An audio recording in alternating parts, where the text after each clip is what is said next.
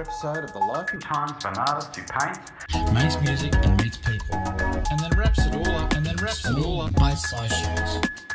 For your entertainment, please don't ever be lonely, and don't feel unloved. Join me on Patreon. This is the Steven Dix Chronicles.